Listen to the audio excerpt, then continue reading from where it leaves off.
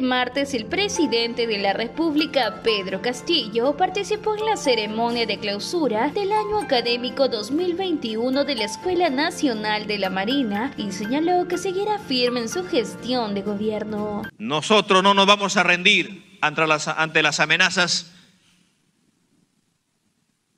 que pueden causarle al país. En esta actividad estuvieron presentes 11 cadetes de la Marina Mercante y 24 alumnos de Administración Marítima y Portuaria. Pues esto fue lo que manifestó el presidente Pedro Castillo. La Marina de Guerra es una institución con muchas tradiciones y legados, con una mística propia y con valores que enaltecen el espíritu humano el espíritu de la patria. Previamente, el mandatario asistió a la ceremonia de graduación de alféreces de fragata de la Escuela Naval del Perú. De esta manera, el jefe de Estado sostuvo que no se va a rendir frente a las amenazas que pueden haber en el país. Ustedes deben saber que nuestro gobierno está cumpliendo en fortalecer y potenciar la capacidad operativa de la Marina de Guerra a fin de que siga cumpliendo su noble misión con la patria. Por otro lado, Castillo Terrones anunció la reciente adquisición de cuatro helicópteros para la Marina de Guerra del Perú que se encuentran en la fase final del proyecto.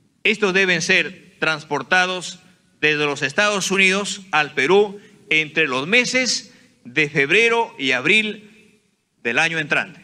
Según la agenda de actividades del dignatario, a las 16 horas sostendrá una reunión con empresarios del sector hidrocarburos y una hora después tendrá una audiencia con el congresista Waldemar Cerrón. Para las 18 horas está prevista una reunión con representantes de partidos políticos y luego un encuentro con el ministro de Desarrollo Agrario y Riego, Víctor Maita. ¿Y tú qué opinas de las declaraciones que realizó el presidente Pedro Castillo en donde señaló que no va a rendir ante las amenazas que pueden causarle al país? Déjamelo saber aquí en la cajita de los comentarios. No te olvides darle like, suscribirte a nuestro canal y activar la campanita de notificaciones para mantenerte siempre actualizado con noticias nacionales. Hasta la próxima.